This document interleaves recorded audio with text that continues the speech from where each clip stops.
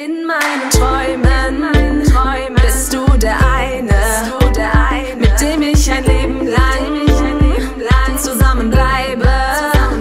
Du trägst mich auf Händen und bist immer für mich da. Dank dir bin ich. So ihr Lieben, wir waren gerade bei meiner Mami, haben die ganzen äh, Briefe abgeholt. Ich habe die jetzt auch äh, durchgelesen.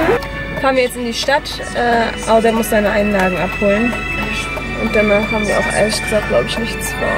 Ich krieg seit drei Tagen so schwer Luft. Das ist nicht normal. Oh Mann.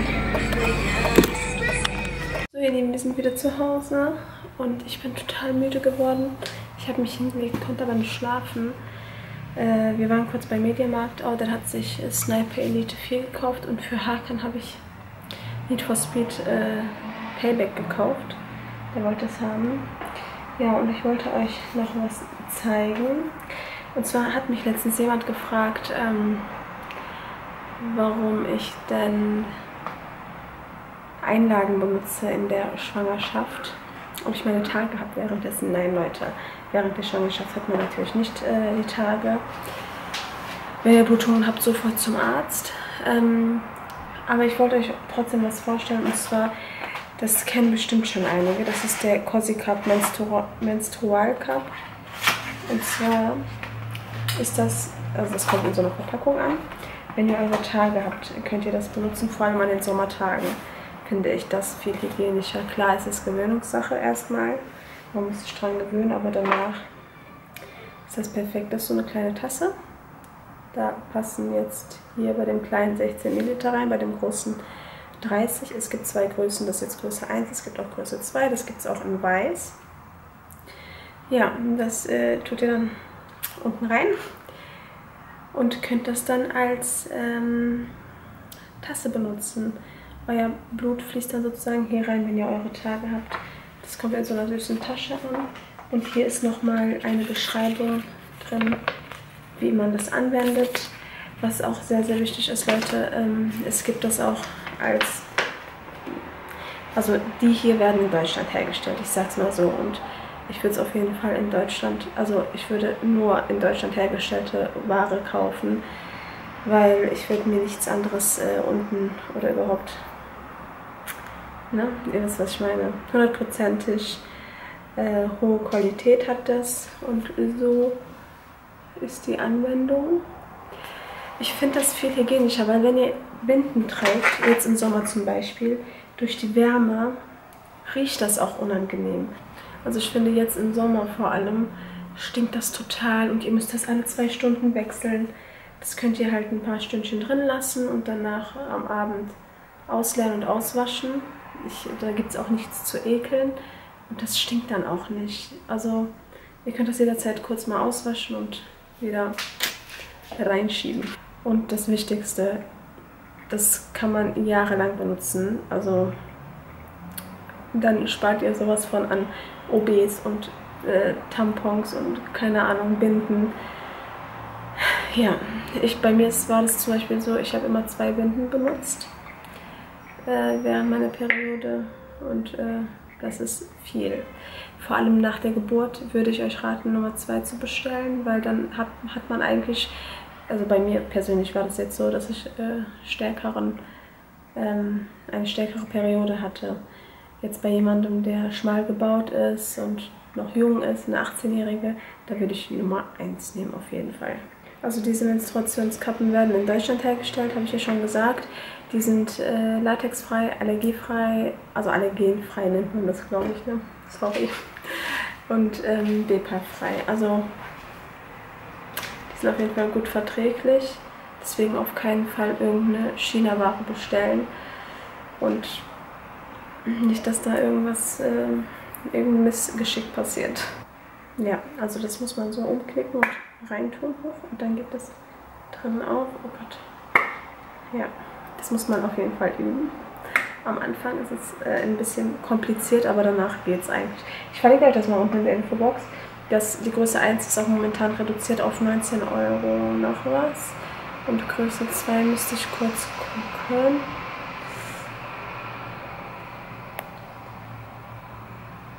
Ne, Größe 2 kostet auch 19,90.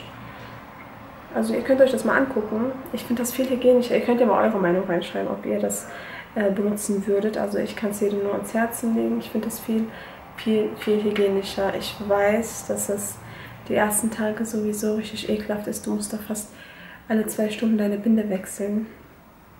Und äh, bei den großen, wie gesagt, passen 30 ml rein und bei dem jetzt 16. Ich verlinke euch das, ähm, den Amazon-Link mal unten in der Infobox, dann könnt ihr euch das mal gerne anschauen. So ihr Lieben, ähm, ich mache jetzt langsam Essen. Bei uns gibt es heute Pizza. Ich äh, nebenbei lädt mein Video hoch, heute ein bisschen später, aber ist nicht schlimm, wir haben heute Freitag. Da geht das wohl klar. Ähm, auf jeden Fall brauche ich jetzt erstmal Mais und Thunfisch. Es gibt nämlich bei uns heute Pizza. Ich habe aber gefragt, hast du Lust auf Pizza? Und ja, was würdet ihr darunter verstehen? Moment. Mama? Diese Smileys da. Ja, und dann habe ich geschrieben, nee, da hat er geschrieben, haha, ja, darunter. Und dann habe ich geschrieben, Thunfisch, Mais, Mozzarella. Ja, okay. Dann machen wir das. Ich muss auf jeden Fall Käse reiben hier. Und was noch? Oh, mein Arm tut weh. Ach, hier habe ich auch noch geriebenen Käse, sehe ich gerade. Aber das ist definitiv zu wenig. Der wird äh, viel Käse. Mozzarella kann ich auch rausholen. Mein Teig ist schon aufgegangen. Am 30.08. habe ich noch ein Mozzarella-Schirm. Okay, habe ich auch noch ein bisschen Käse. Schaut mal, da hat Lina reingebissen. Ich glaube, auf Outer Seite tue ich noch ein bisschen Jalapeno. Der liebt das. Aber sonst kommt da nichts mehr drauf. Das reicht. Ich mag das nicht, wenn das zu voll ist, die Pizza. Obwohl, mh, Oliven gehen auch immer ganz gut. Oliven kommen auch noch mit drauf. Grüne Oliven. Ja.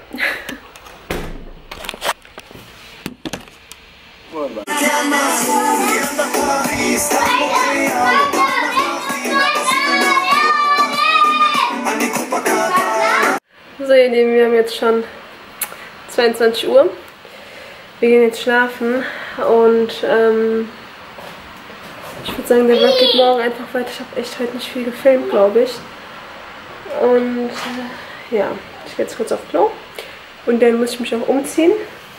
Und schaut mal, ich wollte euch mein Oberteil zeigen. Das kennt ihr schon, aber das sieht jetzt so süß aus, weil mein Babybauch jetzt da ist. Ne?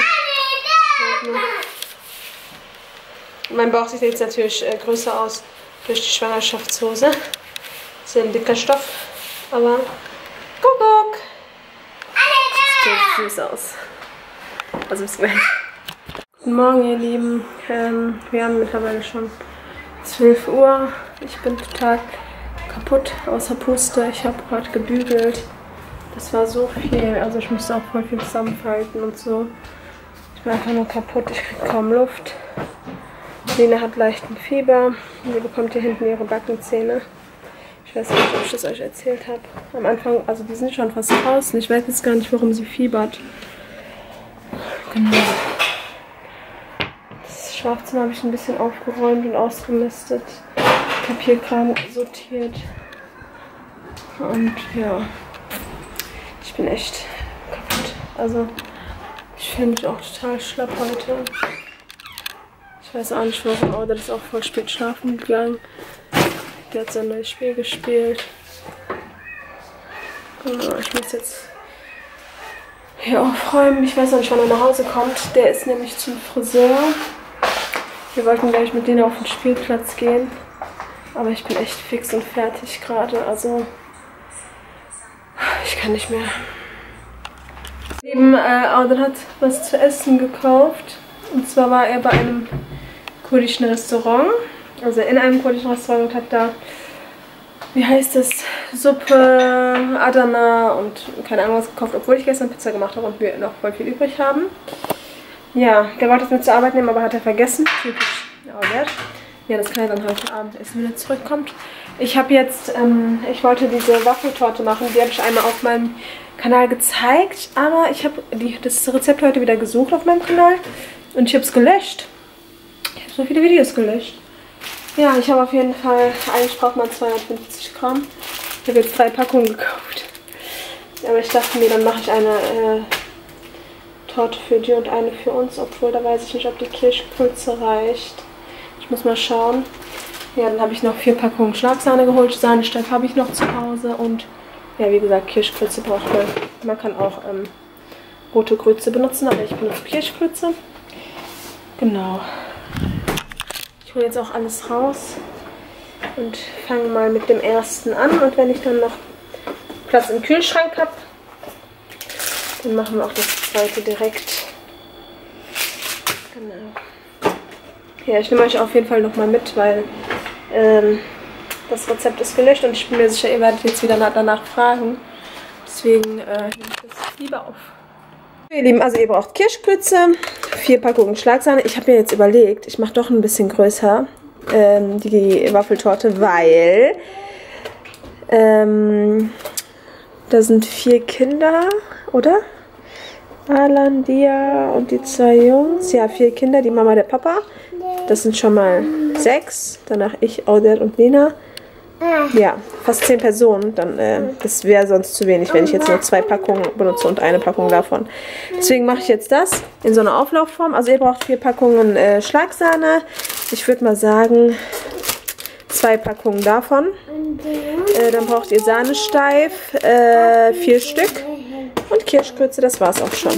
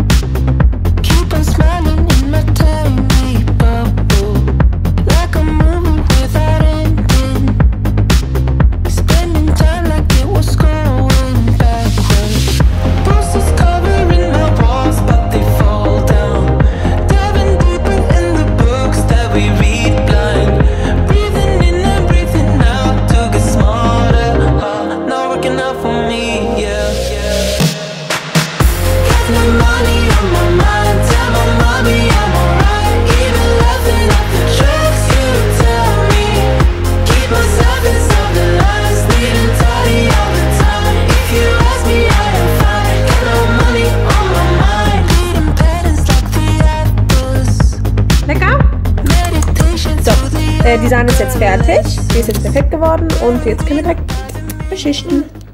Das ist jetzt die erste Schicht, dann kommt die Sahne drauf und dann die Kirschgrütze, dann nochmal eine Schicht Frischeiwaffeln. Ja, ihr könnt jetzt die großen äh, Waffeln nehmen oder die kleinen. Bei äh, Dingens gab es jetzt nur die großen. Bei äh, Norm, Norma oder Netto, keine Ahnung. So, das ist jetzt die Sahne. So, das ist jetzt wieder die Kirschgrütze und jetzt kommen wieder Waffeln drauf. Und fertig. So, die Sahne hat perfekt gereicht und die Kirschgrütze ist ein bisschen noch dran. Das sind übrigens bestimmt 500 Gramm, oder? Warum steht das nicht dran? Warum stehst du nicht dran? Moment, vielleicht hier drauf. hier steht nicht dran, aber ich denke mal, das sind 500 Gramm. Also so eine fette Packung. So, ihr Lieben, ich bin jetzt fertig mit allem. Oh Gott, meine Augenringe. Augenringe des Todes. ja, wir haben dann noch diese Tüte vorbereitet und Jetzt bin ich auch fertig und ich bin auch froh, dass ich fertig bin, weil ich kann nicht mehr. Ich muss jetzt hier noch aufräumen. Und Lena hat alle Kissen von der Couch auf den Boden geschmissen. Sie ist auch total müde. Sie hat heute keinen Mittagsschlaf gemacht. Huch. Das war aber meine Schuld, weil ich bin mit ihr heute auf ein paar, also auf den Spielplatz gegangen. Und dann konnte sie natürlich keinen Mittagsschlaf machen und wir haben jetzt schon knapp, wie viel Uhr? 20 Uhr. Sie geht jetzt auch in einer halben Stunde schlafen. Und dann ähm, haben wir auch nichts mehr vor für heute. Genau. Ich wollte euch auf jeden Fall das Rezept zeigen, weil das ist halt perfekt, äh, wenn Besuch kommt oder ja. Das war's auch. Mehr gibt's nichts. Es gibt echt nichts mehr. Also wir gehen morgen auf jeden Fall raus, essen. Wir gehen Kumre essen. Die, die mir auf Instagram folgen, die haben das gesehen. Es gibt einen Laden, Leute. Das ist bekannt in Izmir in der Türkei. Und zwar ist das... Hm, hat der ein Video? Nee, leider nicht. Das ist so Brot oder so Bürgerbrot mit äh, verschiedenen Wurstsorten und danach kommt da drauf so geschmolzener Käse. Richtig lecker. Ich zeige das euch aber am nächsten Vlog. Ich kann jetzt sabbern. Und Audert ist das fast jeden Tag, weil der natürlich äh, immer da ist. Und ja, morgen darf Madame auch wieder essen. Ich habe das bis jetzt zweimal gegessen und das schmeckt super lecker. Nur das ist total deftig. Also das ist sehr, sehr deftig. Da wirst du direkt voll. Genau. Ja, ich würde sagen, ich verabschiede mich jetzt von euch, bevor ich jetzt zu viel plapper. Ihr wisst, wenn ich einmal rede, und das ist immer meine Position, das habe ich heute mit Audert zusammen auch gemerkt, als er heute unseren Vlog geschaut hat. Audert schaut nämlich die Vlogs erst an, nachdem die online sind. Ja, ich würde sagen, bis morgen. Dann nehmen wir euch mit, zu, mit, mit durch unseren Familienalltag. Morgen ist der Sonntag und da ist Familientag bei uns.